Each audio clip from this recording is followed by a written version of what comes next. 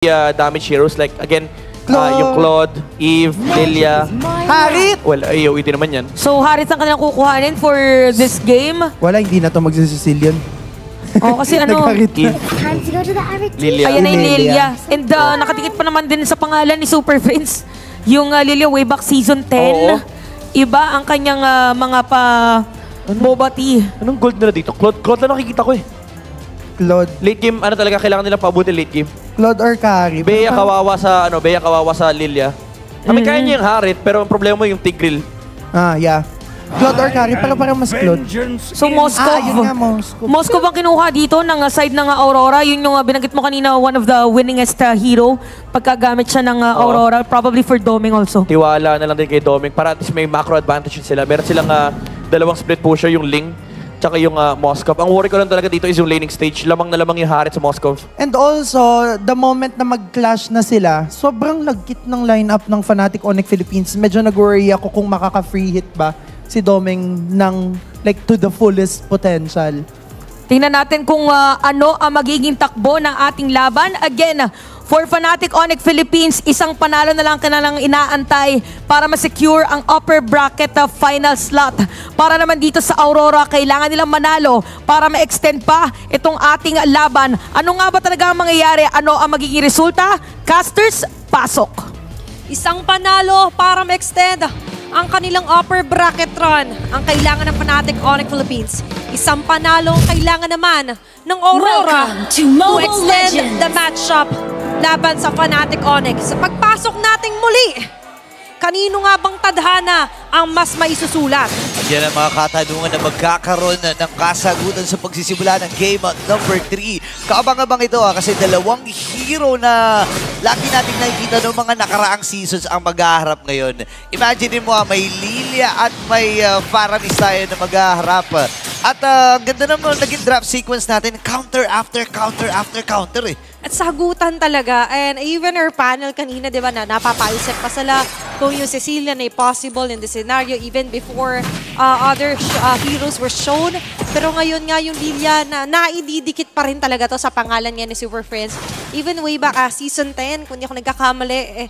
And right now, sa kanyang mas improved version is makikita natin time and time again kung paano nga ba niya na ma-master ito. Pero si Rene J rin naman ay may show din naman na naididikit din sa kanyang pangalan. Na, baka Rene J to. Diyan tumatak ah, ang ah, pangalan ni Rene J sa isang show. At ah, pinapakita kagad dito ng ah, Team Aurora. No? Sabi nila, eh, pwede naman pala natin gamitin eh. Nagkasalubong si Kelran, si Demon Kite. Pero hindi nagkaharapan. Uwi na muna itong si Kelran. Parang anime opening eh, nag-cross spots muna sa umpisa eh.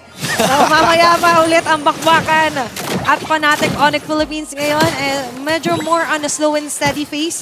Pero Aurora, they have the luxury to get this fast pick isolation plays, especially using or maximizing Renegade's hero. Yeah, and ang ganda rin ng reaction dito ng Fnatic Onyx Philippines, no? Kumuha sila ng dalawang Purify para nga naman mapigilan yung ah, mga plano dito ni Rene J na kumuha ng mga sipa-sipa niya. Ngayon, nagsimula na yung unang pagaw ng laban na ito, Demon Kite, Kirk, Aga. at si Kikong ay nandun sa may pit. Ah, Pero si Kikong nakakuha ng unang pagaw ng laban na ito. Abang! Si Kirk naman ay mamamatay. Netherrealm from UA. At nakabawi din ng isa itong ah, si Super Prince. Ah, At si Brusco naman ay sumuro din. King Kong. Naku, pinagwawashing-washing na naman ang mga members dito ng Team Aurora at si Edward. Napakunat na talaga. Kaya lang ang problema ay wala na rin silang panapos doon. So atras na muna ang Fnatic Onyx at Team Aurora. Grabe din yung commitment dito ng Aurora, even uh, using Edward's penalty zone there.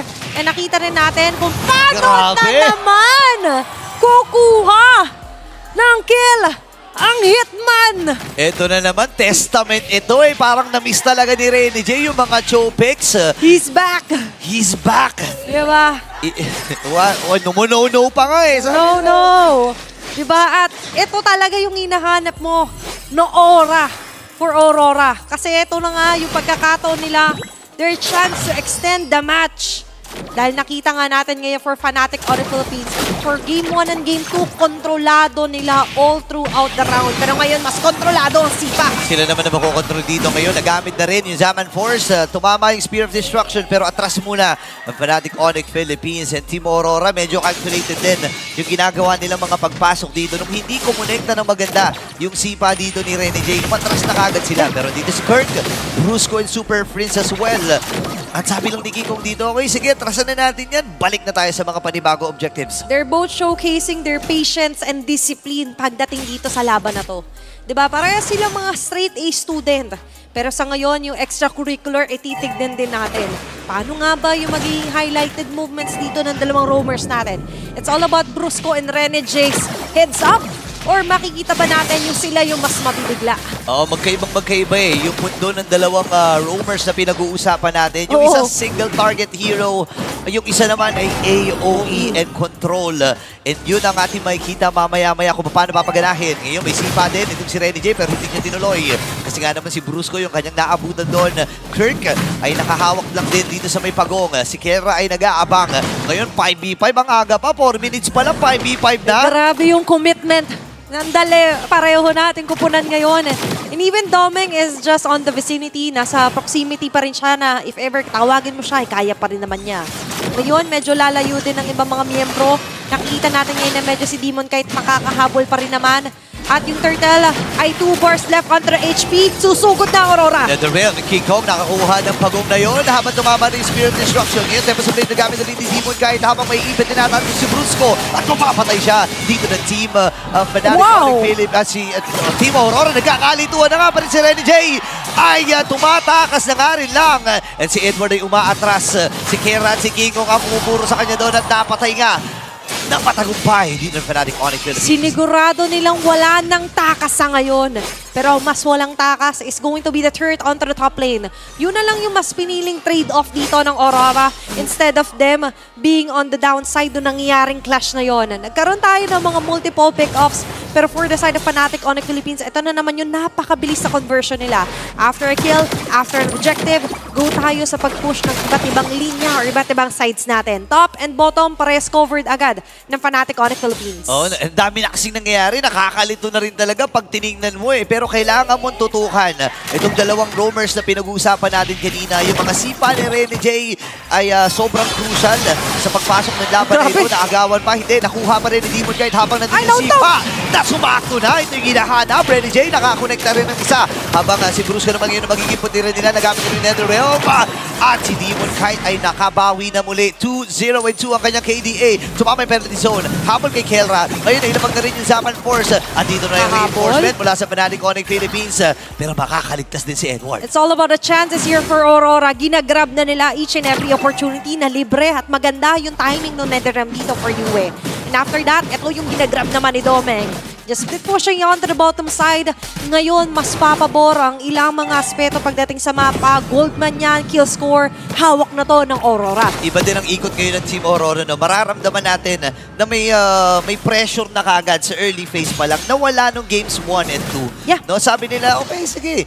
Meron naman na tayong ah, hero na kung saan ay kayang sumipa kung, ah, kung saan at kayang kumuha ng pick-off. Yeah. Pero ngayon, atras muna si Renny J and si Super. Wa- wait, Wow. wait. Ha? May mga recalls na ganyan, Renny J, ha? Gra- Grabe naman talaga ang aura dito for Aurora. Pero bukod doon, syempre, ngayon, is more as a fast pace yung nagiging laro ng Aurora. Nilikod, oh. With the lights up, eh, syempre, minsan, light travels faster than sound. Pero bago ka pa makasigaw ng tulong, nandito nga lang din ang timing nila Yui with the Nether Dome! Okay, tumama din yung Spirit of Destruction. King Kong nakakuha ng isa. Sipa din mula kay Renny J. Pero sapat ba yung dami sa mga members ng Team Aurora? Hindi!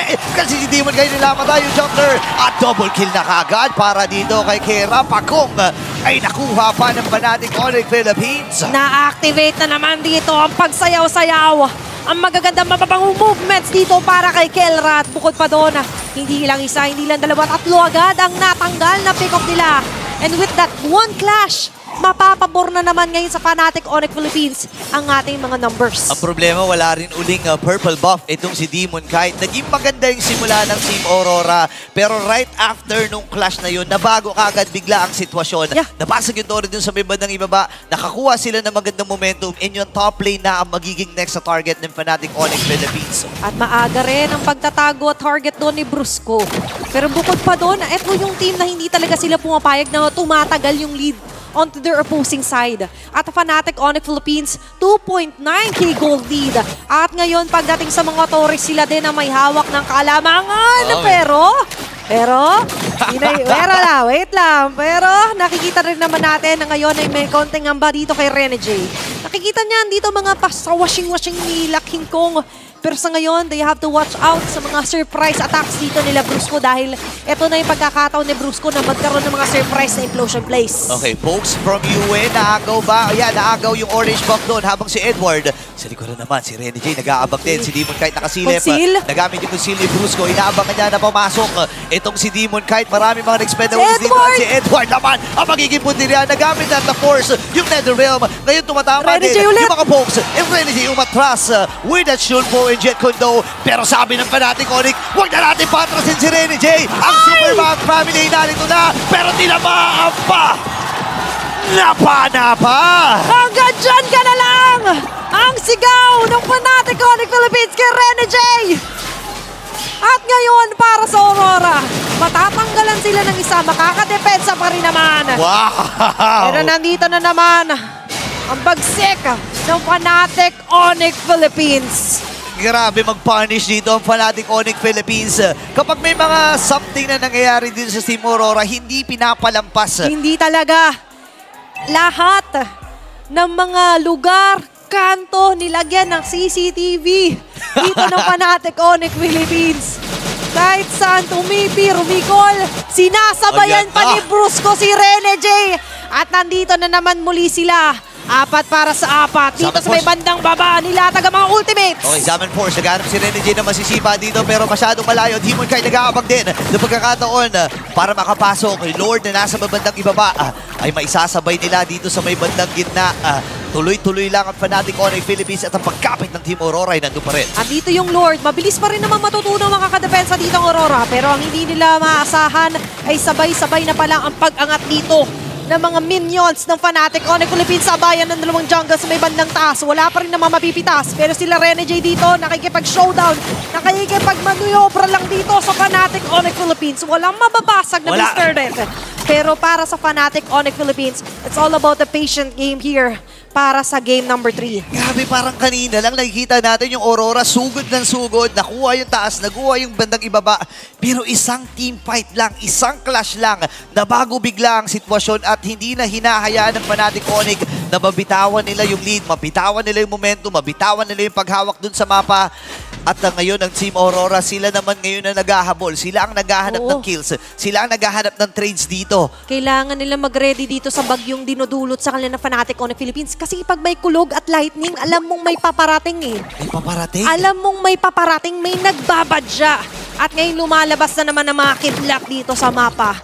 Habang ang Aurora, ano ba ang pwede nilang pangsalag dito? Sa namumuong tensyon, storm that's about to come na gustong inflict sa kanila ng Fnatic Onyx. Well, kung titingnan mo, no, uh, isa sa mga crucial uh, parts dito is si Rene J. Kailangan niya makahanap ng magandang uh, uh, kick, no, magandang sipa dito.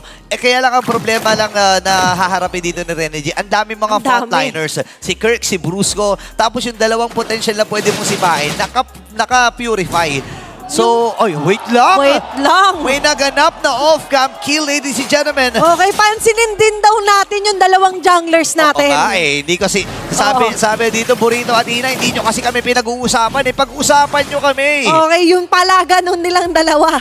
Ngayon, hindi man sila tanong ngayong playoffs. Pero yung palag nila sa loob pala Ay! ng ating mapa! At Wow! yung sipang attempt doon ay hindi naman itutuloy muna pero tumuloy sila dito sa may bandang baba pa natin kung makakabasag ng tore. Ang purify na rin, implosion ni nagamit na habang yung Trinidad may nagamit na ka rin lang. Unti-unti bumabagsak at Team Aurora. Tatlo na lang ang natitira ngayon. May habol na ba nagkakailangan? Nakakuha pa rin si King Kong. Ng isa, make it four. Mabubuhay na ang makakalitong si Yue. Pero meron silang mga minions kasama pa doon sa may bandang itaas. Kakayanin bang i-end dito ng Fnatic Onyx Philippines. Dalawa ang nakaatas para sa depensa at nakumakatok na nga ang Fnatic Onyx patungong upper bracket finals. Fanatic Onyx Philippines secures the spot onto the upper bracket finals. Sweeping off Aurora. Grabe! Napakainit ng laban na ating natunghayan. Umulan ng napakaraming recalls. Pero sa huli, ang super family ang nanaig.